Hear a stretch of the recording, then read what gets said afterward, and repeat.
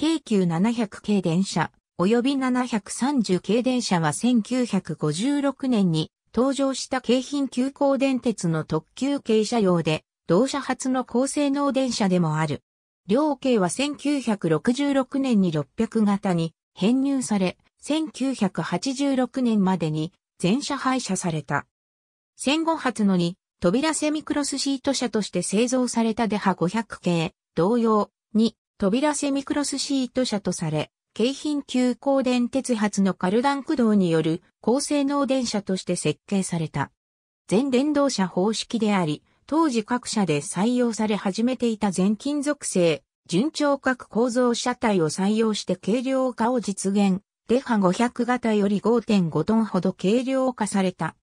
車体、台車を東急車両製造と川崎車両、伝送品を東洋電機製造と三菱電機がそれぞれ担当し、東洋製電装品を搭載するデハ700系、デハ750型が各11両、三菱電機製電装品を搭載するデハ730系、デハ780型が各9両、合計40両が1958年まで製造された。デハ700.730型が裏がより、デハ750.780型が品川寄りに連結され、それぞれ700から750.730から780で搭載機器を集約分散する MM 方式により2両1ユニットを構成する。伝送品メーカーは異なるが、ユニット単位で相互の並結が可能なように各機器の使用が定められており、実際にも混用された。デハ600型への改版、半数の中間車化、冷房改造を経て、快速特急など優等列車中心に使用されたが、2000系の登場により1984年から1986年にかけて全車廃車され、6両が高松琴平電気鉄道に譲渡された。特記のない限り、以下の文中では、各種文献に習い、京急本線上で南側を裏側より、または裏側方、北側を品川より、または品川方、東側を海側、西側を山側と呼ぶ。編成番号は、浦賀法戦闘車の車両番号で代表する。線形は1959年登場の線型を指す。車体長 17,500mm、車体幅 2,700mm の全金属製順調角構造車体を備える。構造面ではデーハ420型までの車両で窓の上下に露出していた、ウィンドウヘッダー及びウィンドウシルと呼ばれる補強体が外板の内側に隠されたこと、後半プレス構造であった。客用扉が平坦な構造に変更されたこと、さらに雨戸位置が屋根上部に移設されて、外板の幕板部が屋根の肩の部分まで引き上げられた、いわゆる張り上げ屋根構造とされたことで、全体的に平滑な外観が実現している。窓配置はデハ500系の D1D5D1 を基本とするが、戸袋窓を扉間に置くように変更して D1D5D1 とし、扉間の5枚の通常窓の部分をすべて向かい合わせ配置の固定クロスシートとすることで、クロスシートの数を10組40席とした。これは、客用扉に隣接する左右両端の窓各1枚分を、乗降を円滑にするためにロングシートとせざるを得ず、クロスシートが6組24席となっていたデハ500型と比較して大きな改善であった。なお、本形式で車端部及び戸袋窓部をロングシートとしているのは乗降を円滑にする目的とともに主電動機及びその駆動装置の点検外を床面の心皿前後に設置する必要から、それに干渉するクロスシートの設置が困難であったためである。保存車でハ601の車内手前ロングシート部の床面に点検外が設けられていることに注意。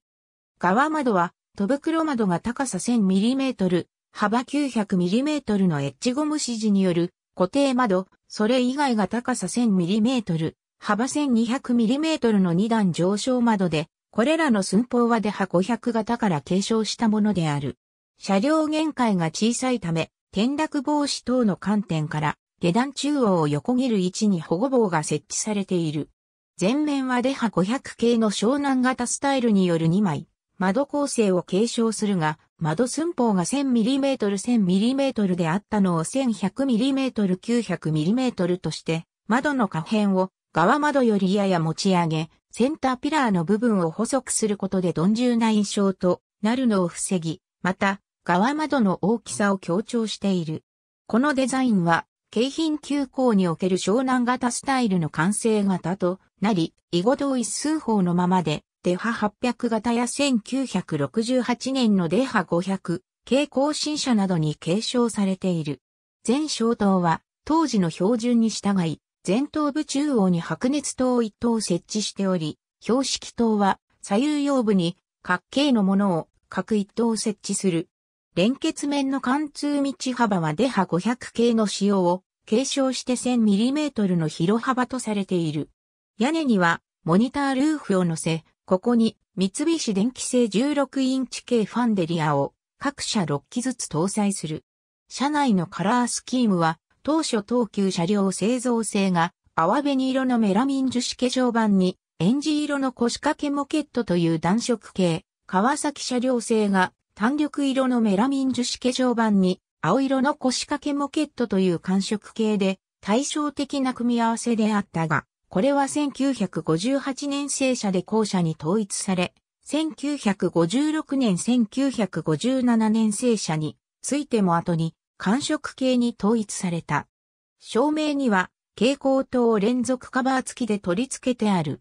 車体外部の塗装はデハ600系、クハ650型で初採用されたダークバーミリオンを基本とし、側面窓下に白帯を配するというデザインを踏襲するが、100mm であった白帯の幅を 150mm に拡幅した上で前面にも帯を回して、被視認性の向上を図っており、この構成は以降700型までそのまま踏襲された。上述の通り、デハ700系、デハ750型とデハ730系、デハ780型では、搭載機器のメーカーが異なっており、走行性能や制御シーケンスなどは統一されていたものの、互いに全く異質なシステムを構築している。両者の相違が最も顕著に現れている部分であり、相互の部品互換性は皆無である。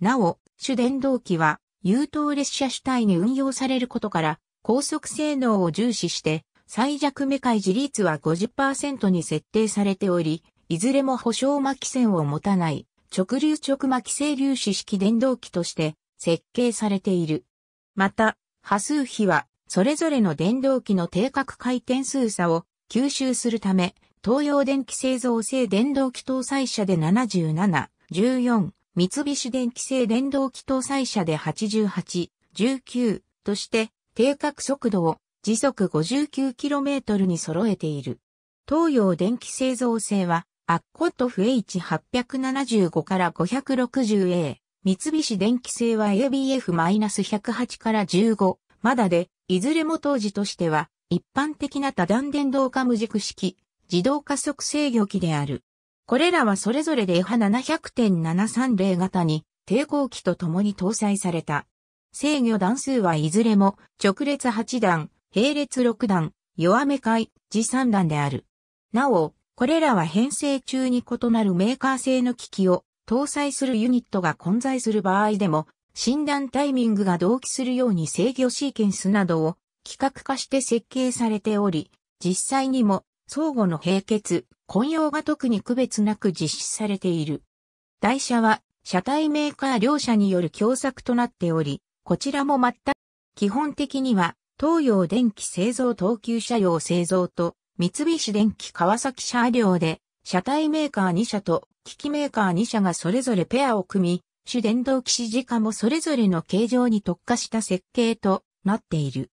ただし、例外的に、デハ707デハ757の2両1、編成のみは、東洋電機製造川崎車両のコンビでの製造となったため、台車側の主電動機支持化やギアボックスの釣り、受け座周辺の寸法、形状を WN ドライブ対応から中空軸平行、カルダン駆動対応に設計変更して対処している。基礎ブレーキは両者の台車ともに踏みづら両抱き式であり、台車ごとにブレーキシリンダーが4個装着されている。ブレーキは従来の自動空気ブレーキに変えて応答性に優れた HSC D 発電性動併用電磁直通ブレーキを搭載する。HSC D ブレーキでは直通管、ブレーキ管、元空気ダメ管の3系統の空気配管を各車間に引き通す必要があるが、心臓時の本形式が採用していた三菱電機 K-2A 密着連結機は自動空気ブレーキに必要な BP と MRP の2系統の空気配管しかコネクタが内蔵されていなかった。このため K-2A を採用している機関に新造された2形式の HSCD 搭載車つまり本形式とデハ800系の2形式に限っては、密着連結機とは別に SAP を通常のブレーキホースで引き通す処置を行っており、増解決作業の際には密着連結機の解決操作とは別に、このブレーキホースの接続、分離作業を行う必要があった。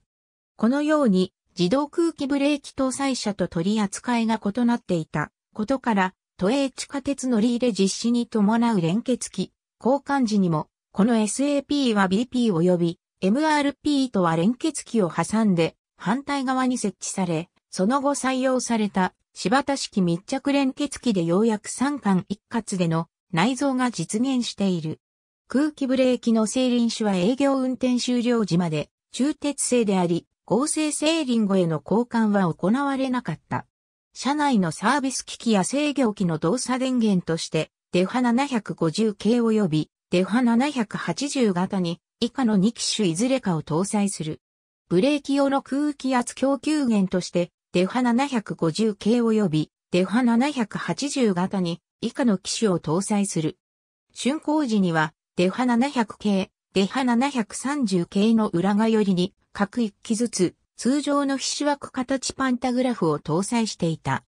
登場時の姿、最近の10年1958年発行より、製造所の東急は東急車両製、川崎は川崎車両製。左が裏画法を示す。以下各製造時で同じ。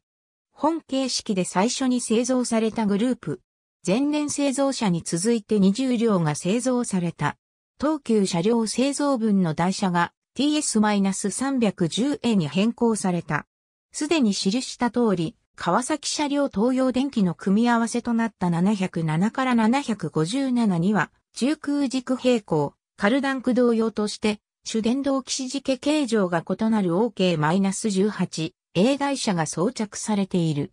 本形式の最終製造グループである。前年製造車と比較して、東急車両製車両の台車が TS-312、川崎車両製車両の台車が OK-18B にそれぞれ変更されたことが最大の相違点となる。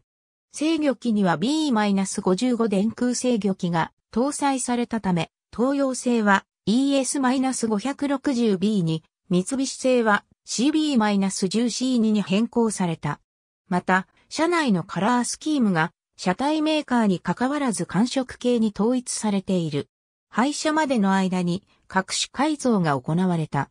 1965年から1966年にかけてデファ700系、デハ730系の奇数番車及びデハ750系、デハ780系の偶数番車の先頭部連結機を三菱電機系 -2A 電気連結機、内蔵密着連結機から都営地下鉄1号線乗り入れ企画準拠の日本製工所 NCB-6 密着自動連結機に交換する工事が行われた。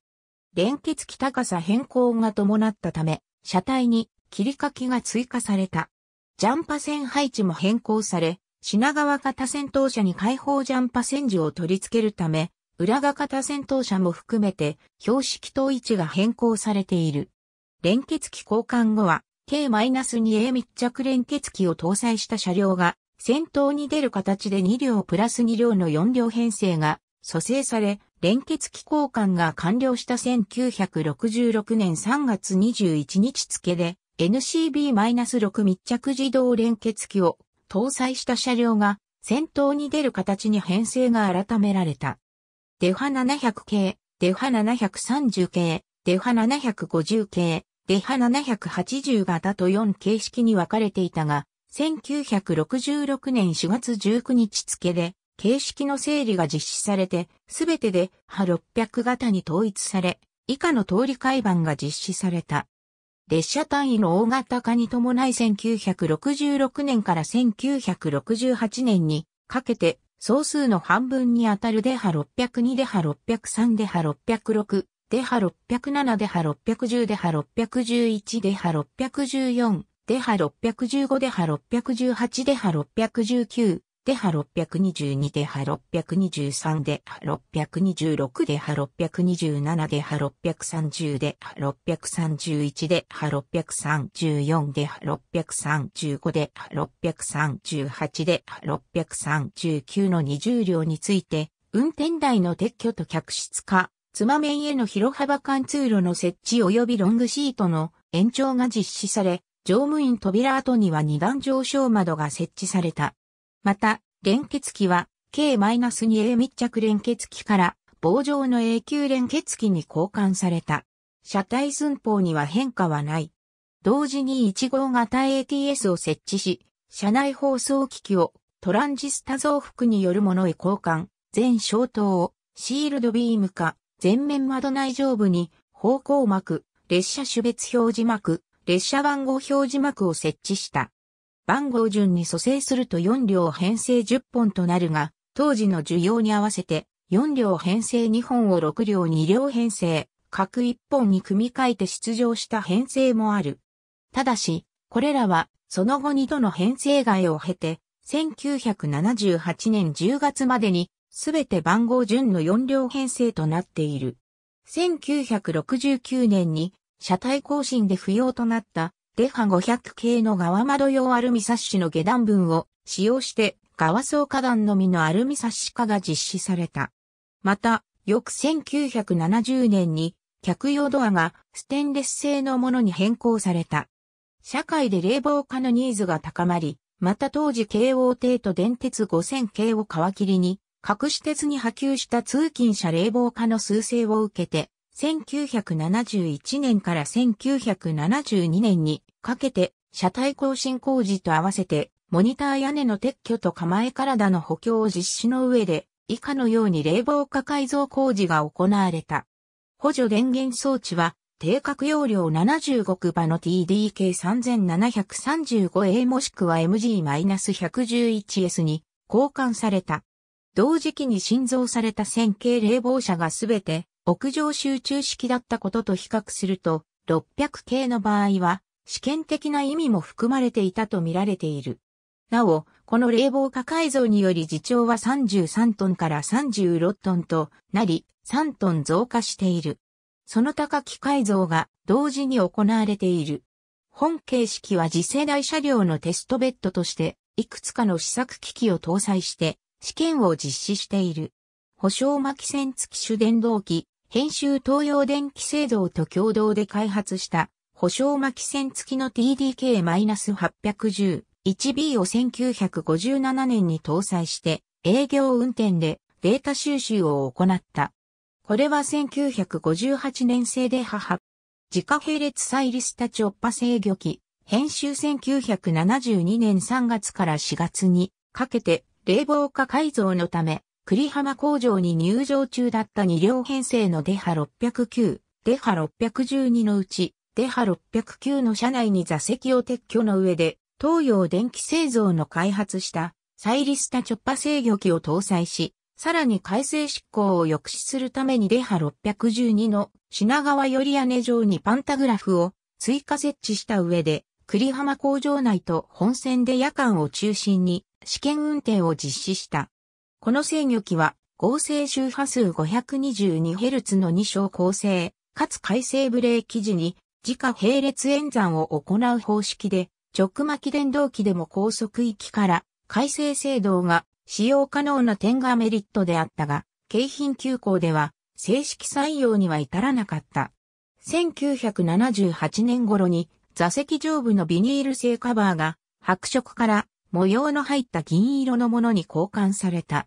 デハ636は1964年10月10日に横浜駅停車中500型で半505に追突され、アンチクライマーの一部が損失した。その後同社は復旧したが、その際、アンチクライマーは線形の正面貫通型車のものに交換されている。竣工後、京浜急行電鉄の看板電車として、ハイキング特急、海水浴特急、週末特急等の優等列車を中心に使用された。一時は編成が2両単位であることを活用し、金沢八景で分割併合を行う逗子線直通特急が設定され、またクロスシート車であることを活かして、全席座席指定の特急、三浦ビーチ号が下記に設定されるなど、その機能を有効活用する運用が実施されていた。もっとも、1972年以降は本形式も冷房化されていたにもかかわらず、夏季特別列車などには運用されなかった。その一方で、1974年から実施された朝、ラッシュ時の12両編成特急、その後1981年に運転開始された通勤快特にも1985年3月まで運用された。本形式は、波数比が低い上、主電動機が後の出波線型と同一定格出力ながら保証巻き性を持たず、加減速性能が以後の各形式と比べて劣るため、ダイヤ作成及び運用上制約となった。2000系の登場により、1984年から廃車が始まり、1986年3月のさよなら運転を最後に全車廃車された。釣り掛け式であるデハ500型よりも5ヶ月であるが先に形式消滅した。廃車後は高松琴平電気鉄道にデハ605デハ608、デハ609デハ612デハ613デハ616の6両が譲渡され、全面貫通化やロングシート化が行われた後1070型として入選した。2011年に2両が廃車されたが、残る4両は申請から60年以上経過したものの2018年、現在もなお健在であり、京急在籍期間よりも、こと電入りしてからの期間の方が長くなっている。また、トップナンバーであるデハ601が、逗子市に譲渡され、神武寺駅近くの逗子池後第一運動公園に生態保存された。長らく屋外の屋根もない場所で雨風にさらされていたため一部部品も破損するなど荒廃が進んでいたが、2012年には公園の再整備に合わせて新たな用地も確保しての大規模な修復工事が行われて、綺麗な姿を取り戻した。またこの頃から有志による保存会も結成され、現在は定期的な車両清掃活動を行いつつ、永続的な保存と有効活用に向けて逗子市と連携しながらの活動を進めている。ありがとうございます。